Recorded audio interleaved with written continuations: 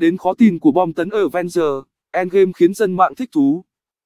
Avenger Endgame là phần phim thứ tư của đội siêu anh hùng Avenger và là phần phim tiếp nối của Avenger Infinity War ra mắt vào năm ngoái. Với sự góp mặt của hàng loạt ngôi sao nổi tiếng hàng đầu Hollywood trong vai những siêu anh hùng được cả thế giới mến mộ, không quá khi gọi Avenger Endgame là siêu bom tấn.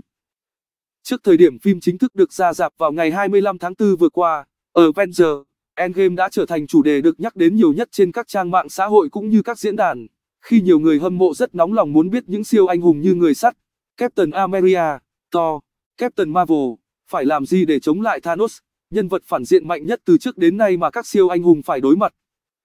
Và quả nhiên khi bộ phim được chính thức trình chiếu, người hâm mộ điện ảnh đã không phải thất vọng với những cảnh quay hoành tráng, đặc biệt là những khung cảnh chiến đấu đầy mãn nhãn của các siêu anh hùng trong phim.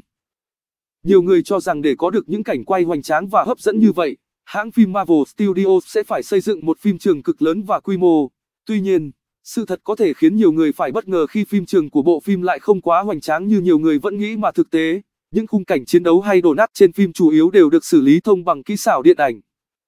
Những hình ảnh về hậu trường đơn so của bộ phim Avenger Endgame dưới đây đã khiến nhiều cư dân mạng thích thú và thán phục với các diễn viên trong phim, khi họ phải vừa đóng phim vừa phải tưởng tượng ra những thứ không hề tồn tại trước mắt, mà chỉ xuất hiện sau khi đã được xử lý bằng kỹ xảo điện ảnh. Tê Thùy